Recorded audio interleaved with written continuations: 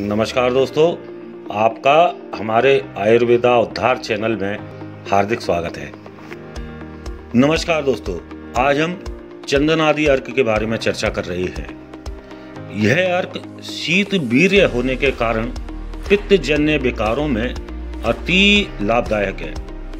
पेशाब में जलन हो, पेशाब रुक रुक कर कष्ट के साथ उतरता हो, पेशाब के साथ रक्त गिरता हो अथवा नाक से खून गिरता हो तो इस अर्क में आधा तोला मिश्री मिलाकर पिलाने से पेशाब बिना किसी तकलीफ़ के साफ़ होने लगती है, तथा खून का गिरना ही बंद हो जाता है।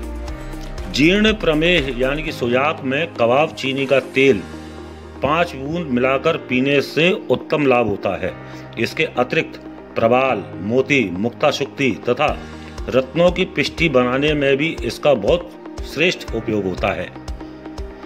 चंदन आदि अर्क 20 एम से 40 एम तक सुबह शाम अकेले अथवा दूध की लस्सी के साथ मिलाकर देने से अत्यंत लाभ करता है।